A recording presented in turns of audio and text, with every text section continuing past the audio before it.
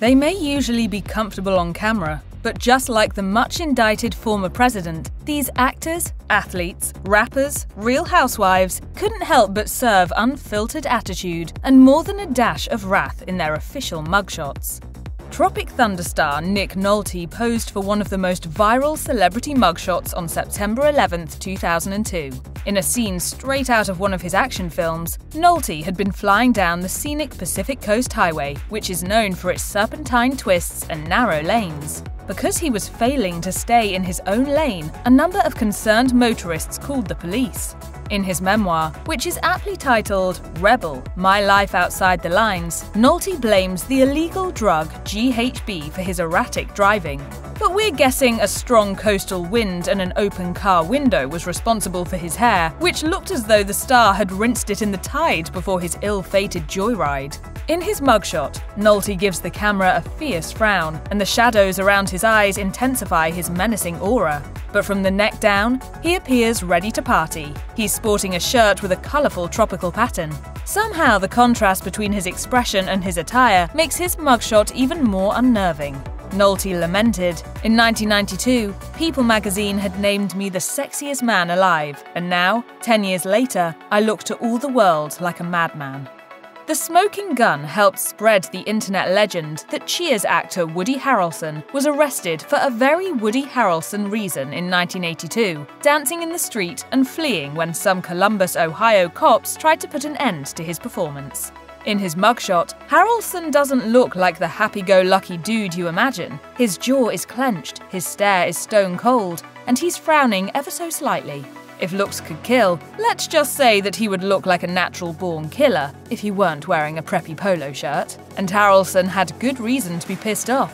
Speaking to The Hollywood Reporter, he explained what really went down, saying, A cop stopped us for jaywalking and he was really rough. When Harrelson didn't produce his ID fast enough, the cop repeatedly shoved him against a wall, so the actor made a run for it. After being apprehended by other equally violent officers, Harrelson tried to flee from the police van, this time in handcuffs. He explained, I see this car and I hit it and it flipped me up in the air. I spun completely forward, landed on the back of my head, and then they had me and maced the shit out of me. Luckily, he wasn't seriously injured. Here comes Honey Boo Boo star June Shannon, aka Mama June, looked all shook up after her 2019 arrest on drug charges. She and her beau at the time, Eugene Edward Geno Doak, were booked by the Macon County Sheriff's Office in Alabama and charged with possession of crack cocaine and drug paraphernalia. In her mugshot, Shannon kept her eyes downcast, but curled her lip in an Elvis Presley like snarl. She'd been spending like she had the King's bank account when it came to her drug use, telling Access that she and Doak blew through around $900,000 over the course of a year, revealing, So much money was sent to our dope man. So when you went to rehab, you literally had a dollar seventy-five to your Yes. name. Yes. Shannon pleaded not guilty to the felony charges against her and avoided prison time. Instead, she had to perform 100 hours of community service and take drug tests to prove she was staying sober. She checked into rehab, dumped Doak, and later married mechanic Justin Stroud. When she spoke to the Daily Mail in 2023, Shannon was three years sober and still sore over all that dough she spent to feed her addiction, saying, I think about a lot of things I could do with that money. My husband tells me all the time that I can't dwell on it. When Tiger Woods took a cocktail of prescription drugs in an ill advised attempt at pain management in 2017, the five time Masters winner found himself making headlines for a reason that had nothing to do with his prowess on the putting green. And soon, the press had a juicy mugshot to pair with its stories about Woods' latest vehicular incident. Woods had recently undergone back surgery when Jupiter, Florida police arrested him on suspicion of driving under the influence. They found his Mercedes stopped on the road, with Woods asleep in the driver's seat. In dashcam footage shared by NBC News, a confused Woods seemed to believe he was in California.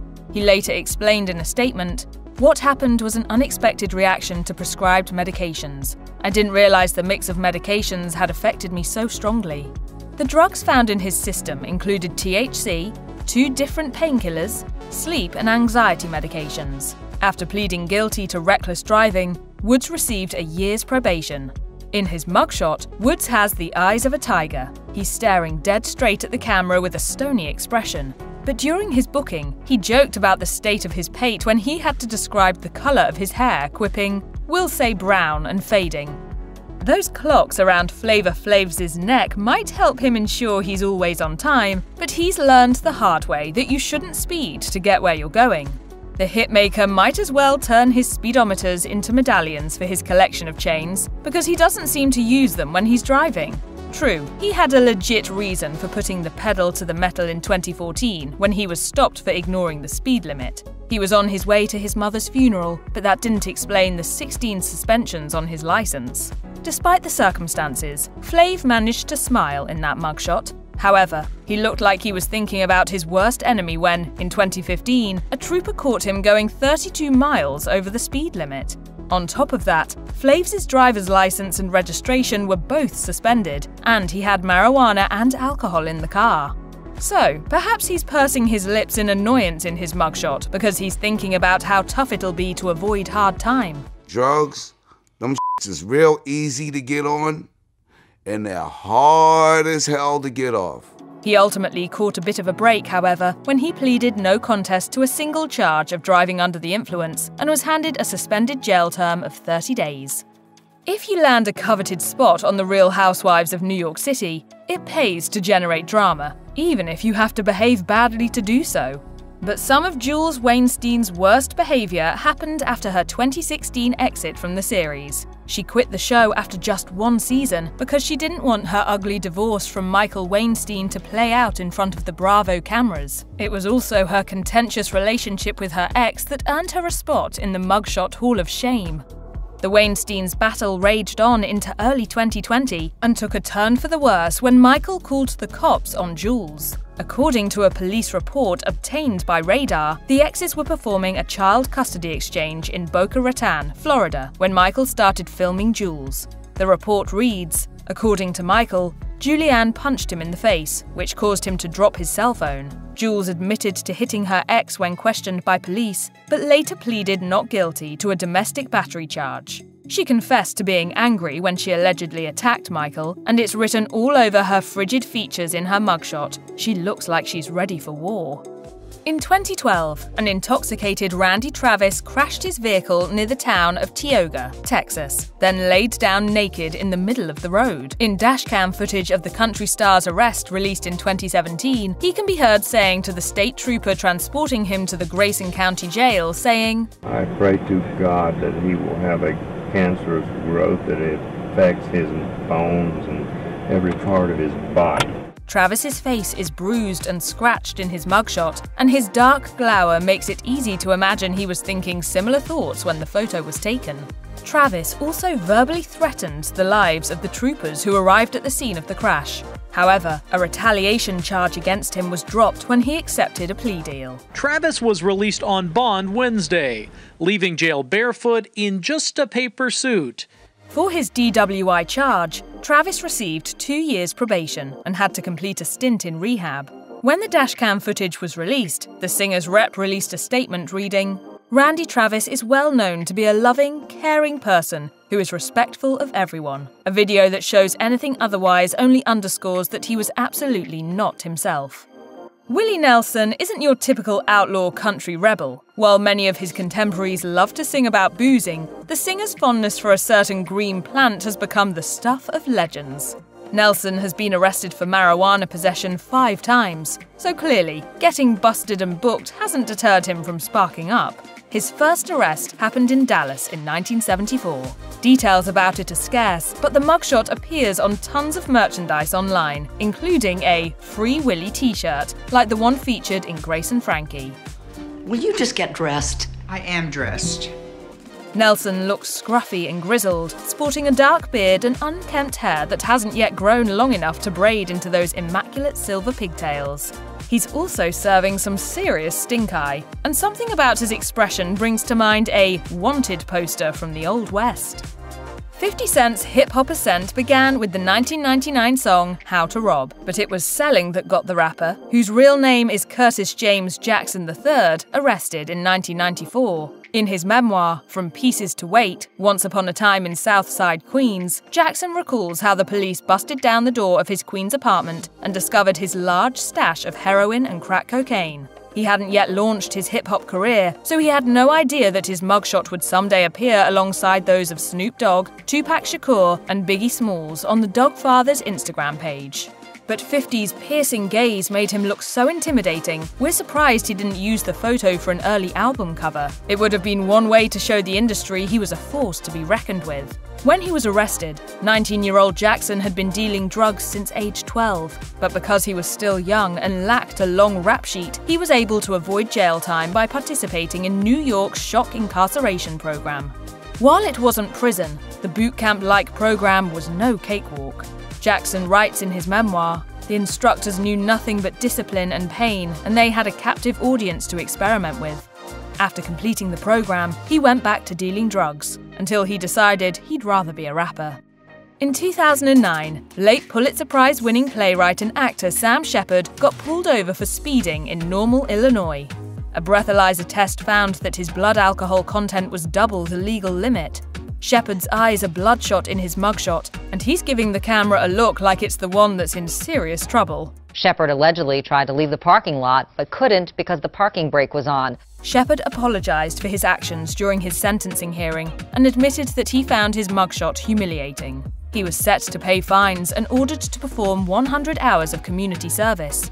Shepard vowed to never get behind the wheel drunk again, and the following year, he spoke to The Guardian about his sobriety, saying, Prior to that, I was sober for four years, and then I relapsed. It's a constant struggle. It's such a knucklehead disease because you refuse to see it. I think I have that sort of thing in my blood. In my psyche, I can become addicted very easily. It's trendy to have photo booths at bachelorette parties, but after celebrating the end of a friend's single days in 2018, the Bachelor star Amanda Stanton left Las Vegas with a different memento a mugshot. In it, her jaw is set and she's shooting daggers at the camera. Her rep, Steve Honig, said that she'd been arrested on a domestic violence charge after hotel security was called on her and her then boyfriend, Bobby Jacobs. Honig explained in a statement that evening, she had a few drinks at a bachelorette party, and when hotel security asked her and Bobby to quiet down, she got a bit rambunctious. Amanda gave Bobby what she thought was a playful shove. Hotel security did their job and reported the incident to the police. But Radar obtained a report from the Las Vegas Metropolitan Police Department that told a different story.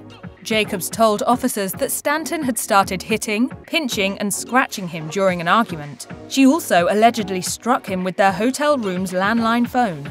Jacobs said that he turned to some of Stanton's friends for help calming her down, and they called security when they noticed a number of abrasions on his body. The charges against Stanton were dismissed, and she and Jacobs split the following year. In her memoir, Now Accepting Roses, Stanton writes, To this day, I'm still devastated and confused by what happened that night.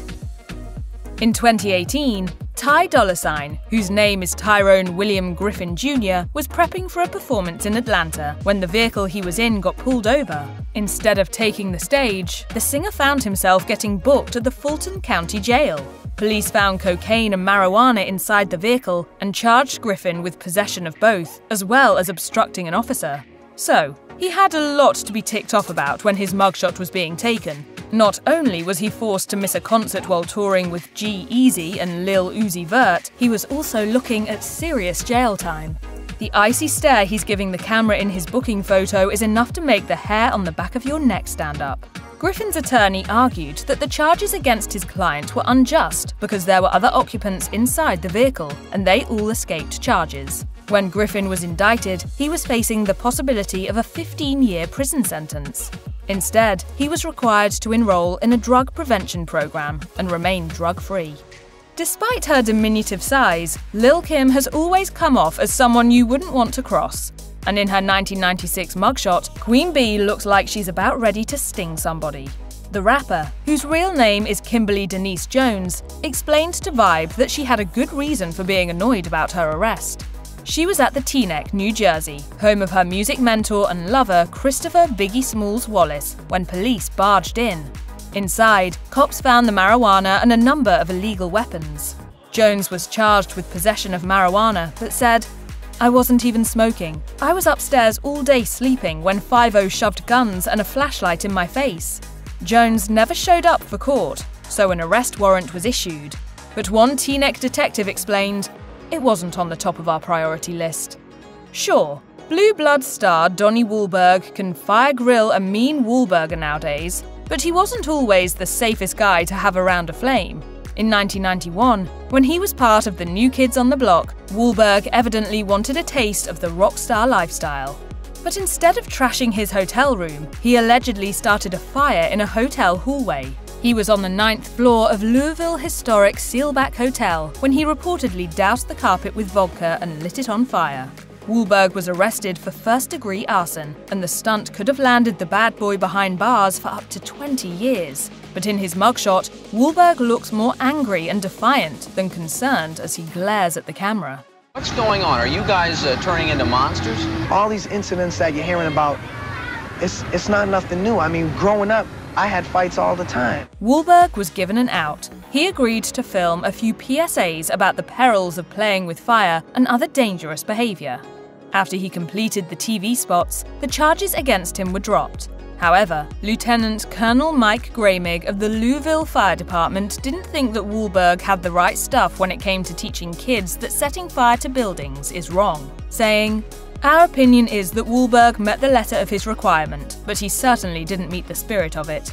Former professional wrestler Larry Pfohl, who performed under the name Lex Luger, once used a signature move called the torture rack to take out his opponents, so it's no surprise that he looks absolutely terrifying in the two mugshots he had taken in 2003. The first was the result of Pfohl allegedly hitting his then girlfriend, Elizabeth Hulette, known to fans as Miss Elizabeth. Hulette told police the bruises on her face came from falling while walking their dogs, but Pfohl was slapped with a domestic violence charge anyway. When Pfohl's second mugshot was taken a month later, Hulette was dead. She'd taken a lethal combination of pills after drinking vodka. Upon searching the couple's Atlanta residence, police discovered dozens of bottles of illegal pills belonging to Foll, and he was arrested on 13 felony charges for controlled substances. So, yeah, he had a good reason to look angry in that second mugshot. Instead of mourning Hulette in peace, he was dealing with the police. However, years later, a regretful and sober Pfohl would admit that Hulette's death was a consequence of his behaviour, telling ESPN, I take a lot of responsibility for that. My influence in her life. Her little heart and body couldn't take what I was doing. If you, or anyone you know, is struggling with addiction issues, help is available. Visit the Substance Abuse and Mental Health Services Administration website or contact SAMHSA's National Helpline at 1 800 662 HELP 4357.